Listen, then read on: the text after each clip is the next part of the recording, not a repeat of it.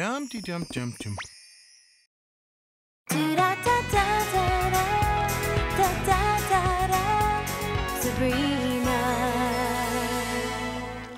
Mmm, scrambled pizza. My favorite. Janitor Jim says the heat lamps make the scrambled pizza radioactive. How gullible are you, girl? That's an urban myth. Yeah, you're probably right. You want real food? Wait for the block party. I'm making my grandma Anastasia's goulash. What's the big whoop about goulash? When my grandma escaped from East Germany in the 50s, she had nothing but the clothes on her back and her goulash recipe. Really? Wow. She survived by opening a little goulash cafe. That's how she earned the money to travel to America. Cool story. I'm making my great aunt Sylvia's barn gumbo. Family legend has it the recipe was given to her by a voodoo priestess under the full moon. How about you, Brina? Got a cool family recipe for the block party? Um, well, you know. I'll bet Sabrina's making a nice big loser loaf. Ah, and here comes Jim to make our dining experience that much more miserable. My family's contribution to the block party will consist of free range turkey, dill cornbread stuffing, roasted semi husked corn, baby pearl onions, glazed yams, and mashed potatoes with a garlic reduction. A Thanksgiving feast. Most apropos since I can trace my family tree back to Plymouth Rock. Spellman's family tree, of course, is rooted in the Greendale Zoo. Specifically, the monkey house. Oh the monkey show you. Let's lower the mercury here. Who cares about Gem Stone's family tree? I'm gonna show Gemstone. Her family may have come over on the Mayflower, but my witch ancestors built Atlantis. I'm gonna come up with the most incredible block party recipe ever.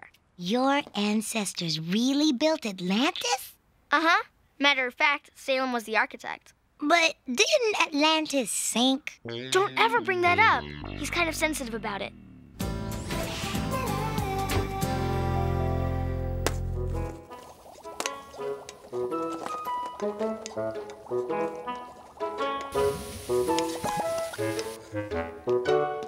Hey, Sabrina. You're just in time. We're making my famous bat tattooey. Say, is that hard to make? No. The real secret is bat control. Great. Maybe I could whip up a batch for the block party.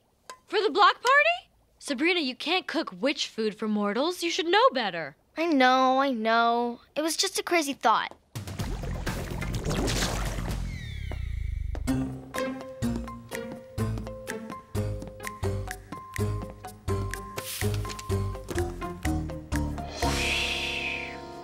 Here we go. Great, great, great Aunt Morgan's recipes. So, you're planning on cooking witch food even though Hilda and Zelda specifically told you not to. Salem, don't snitch on me. Au contraire, prickly pear. I'm proud of the initiative. That's the kind of can do spirit that got Atlantis built. Let's see what old Morgan's got for us. Attila the Hun's buns, Wicked Witch of the Yeast. Oh, this one looks interesting. Magical upside down cake. A magnificent 19 tiered masterpiece guaranteed to turn taste buds upside down. This one brought the entire court of Camelot to its knees. No big trick with all that heavy armor, but the cake sure looks yummy. If you've got yourself a frown, this cake will turn it upside down. Ladies and gentlemen, we have a winner.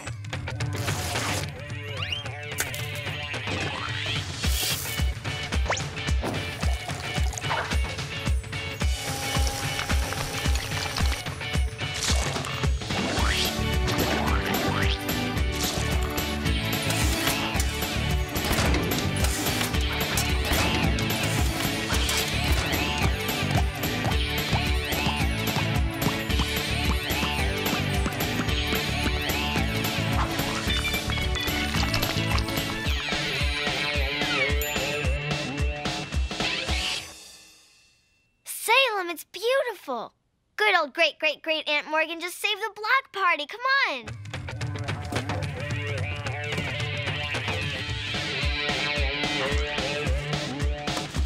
Now, Salem, You can have a taste. Just remember to share with everyone else. Me? Of course I'll share. I love to share. The only thing I love more than cake is sharing cake. And if anyone asks, I got the recipe from a magazine. Ah, mon chéri, what's a lovely confection like you doing in a squalid kitchen like this? Mwah, mwah, mwah. Mmm, too sweet. Suddenly, I feel like Elvis on a cheesecake bender. Simply delicious. I can't wait until the others get to try a piece. I get so much pleasure putting the happiness of others before my own. What happened? Did someone hire a maid and not tell me? Salem, have you been cleaning? Gosh, yes. It was a chore with no thumbs, but thank goodness for these two paws and an unlimited supply of elbow grease. I give up. But just what are you looking for in return? I always say a good deed is its own reward. No, you always say, tell me where you hid the catnip or I'll blackmail it out of you. Oh, pshaw, you big silly. What's your Ming doing in here? Just donating some of my worldly possessions to raise money for local charities. Gotta give till it hurts. It's like his personality has been turned upside down.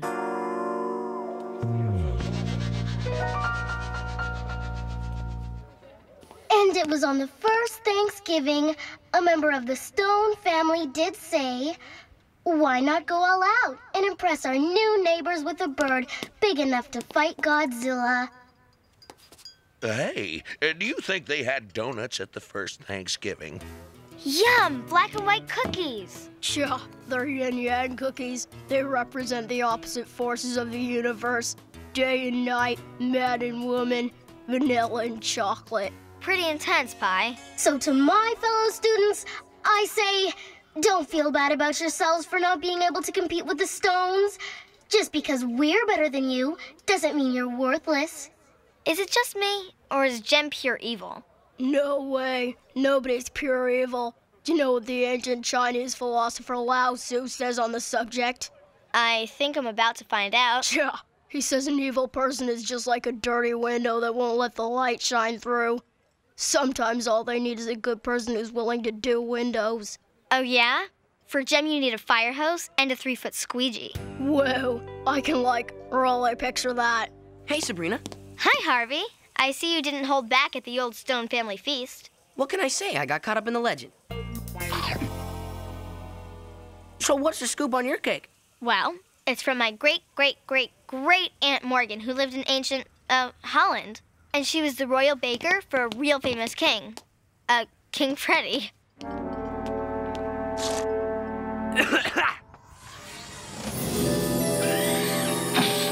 King Freddie liked Aunt Morgan's upside down cake so much that when the peasants were revolting, he said, let him make cake.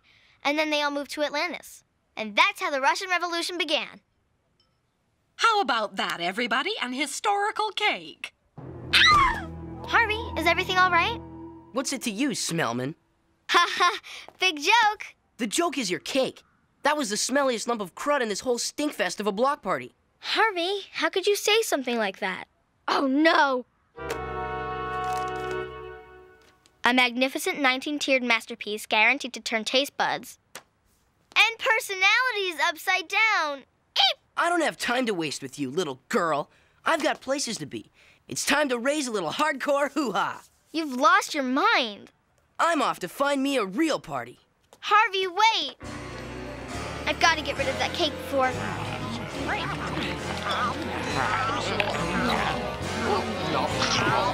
Anybody eats it!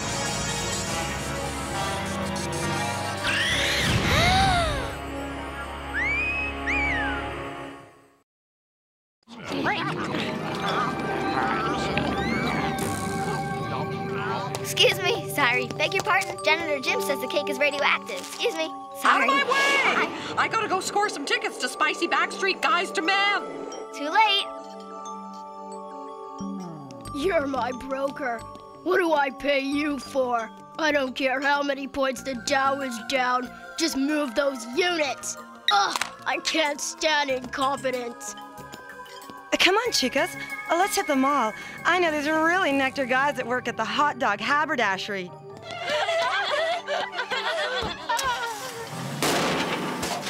Why am I eating cake, Bob? It's bad for my figure. Tell me about it, Mike. Even worse than them nasty, greasy donuts. Know what I'm really in the mood for, Bob? A nice, healthy salad? You're reading my mind. This is out of hand. I've got to find Salem and. Oh no,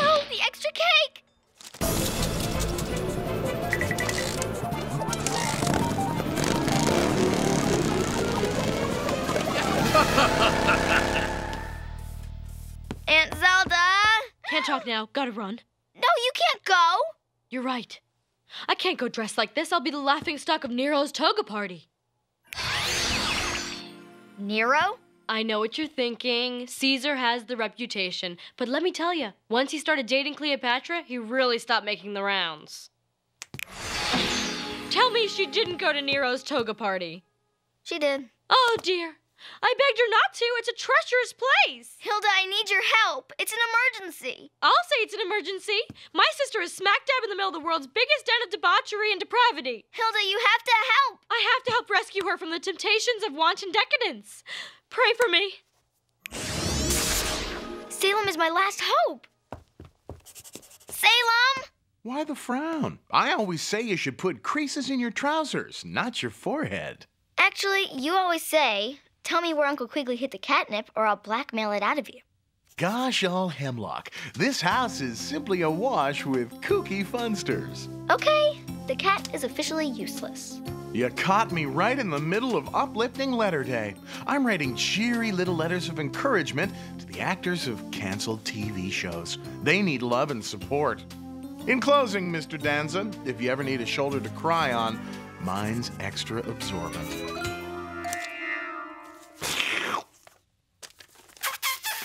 Sealed with a kiss. Doom, thy name is Sabrina. Ah!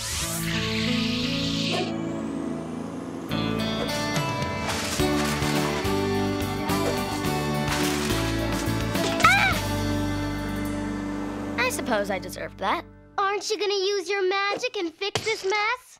It's too big a mess. I can't do it by myself. Hold on, who said that? Gem? You you know my secret? Yep, and the only thing standing between this town and certain doom is your magic. So let's get a move on. We've got to save Greendale.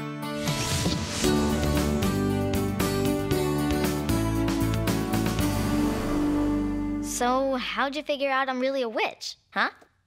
It wasn't hard. After I ate some of that magical cake, everything seemed to make perfect sense. Heck, you don't even wear a disguise. Even Clark Kent had a pair of glasses. Fair enough. Hey, think I may have something here that'll reverse the spell. A magical decaf mochaccino latte, guaranteed to wash away magical spells. It's worth a shot. Good thing it's decaf. This town is gonna need a good night's sleep. Okay. A spell reversing decaf non fatty. Whip up a batch of mochaccino latte. Come on, let's put it to the test. Boy, this letter writing is tougher on the tongue than it is on the paw. You need a little latte to refresh your mouth. Don't mind if I do. What am I doing here? Why does my tongue hurt? Where'd Quigley hide my stinking catnip? I'm not allowed to tell you. You'd better, or I'll blackmail it out of you. I'm so glad to hear you say that. Hey! Ow! Let go, woman! You're crunching my quaff. It's not enough that you go to the seediest city in the world. You just had to buy a souvenir. Rome burned and all I got was this lousy t-shirt? Please! It was either this or Nero fiddled while Rome burned and all I got was this lousy t-shirt. Sounds like you two could use some lattes to calm your nerves. I'll say. Nice move. Thanks. Hey, cute toga. Ah! Let's get a move on. We'll split up so we can cover more ground. See ya. All right, boys, stretch and reach, and stretch and reach. Hold it, boys. If you're gonna do aerobics, you're gonna need a boost of energy. Oh, we can't drink coffee. It's bad for you. Uh, this isn't coffee. It's concentrated broccoli juice. Very good for you. And it tastes awful.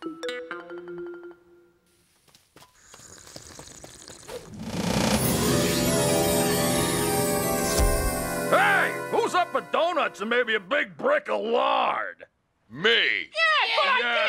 I love lard, yeah. Hey, Murdoch, you're out of uniform.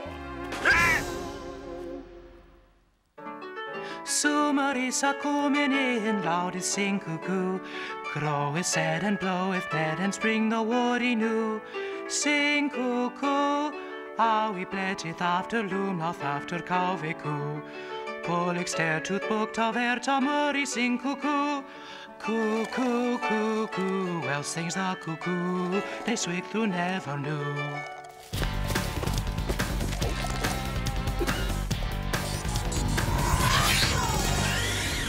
Oh, check it out! I'm holding this thing here and I don't know what it is. Much better. Okay, all you kids, line up so I can take your lunch money. Chop chop! At this rate, we'll have the town back to normal in no time. Uh-oh. This looks like trouble. It's Harvey. Let's go. This is all my fault. If something happens to Harvey, I'll never forgive myself. Come on, let's climb. There's no time to waste. No, it's too dangerous for you. I have to take responsibility. Wait here.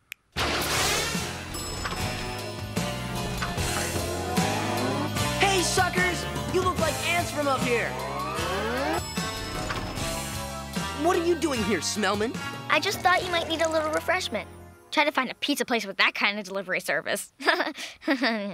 I'll pass on the latte, but I do need to thank you for your crummy cake.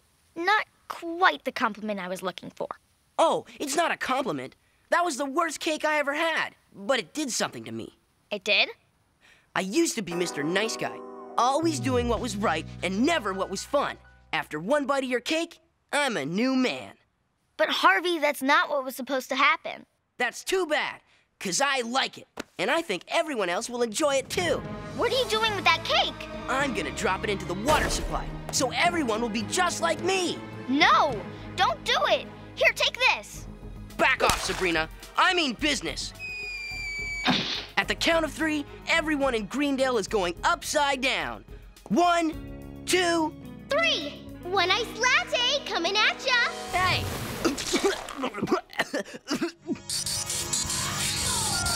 um, um, bouncing ball and jumping bean. I need a floating trampoline.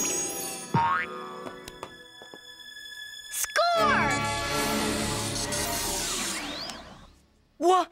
What happened? And why am I hanging on the water tower? Uh, I'm scared of heights. Harvey, you're actually home sleeping. This is a dream. Oh, cool.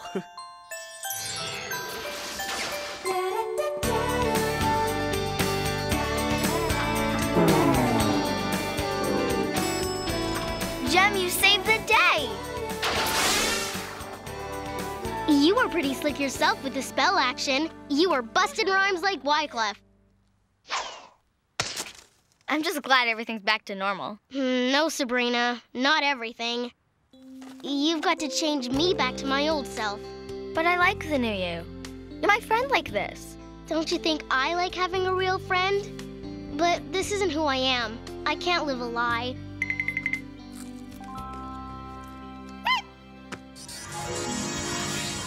I'm really gonna miss you. No, you won't. The good gem is somewhere deep inside the real gem. Nobody's all bad. Sometimes we just have to try a little harder to find the good in some people than others. It's like Pi was saying. Everybody is good inside, except some people have dirty windows. Or was it good people open their windows more than evil people? Something like that. What are we doing with our lives? We scuttle around eating garbage, hiding from the light. After nuclear war, roaches are the ones that'll still be here. Oh, by the way, I'll let you in on a secret. My family didn't really come over on the Mayflower. That's a lie my father started to make my family seem special. That's funny. I had to make up a lie because my family was too special. I'll miss you. And hey, I apologize for anything I say after I turn back. Apology accepted. Friend?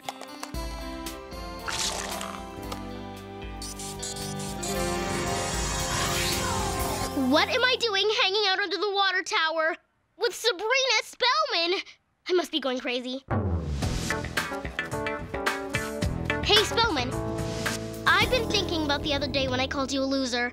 I just wanted to say I'm. I'm sorry. Apology accepted. Friend? What am I doing? I'm sharing a party of five moment with Sabrina Spellman. I need to increase my therapy hours. Yep, there's a little bit of good inside everybody. And why don't we do something with our lives? Learn a trade, start a business for roaches, maybe open a motel.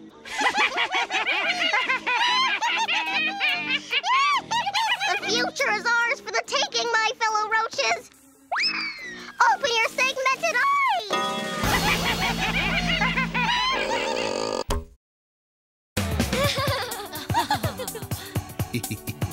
Ha ha ha!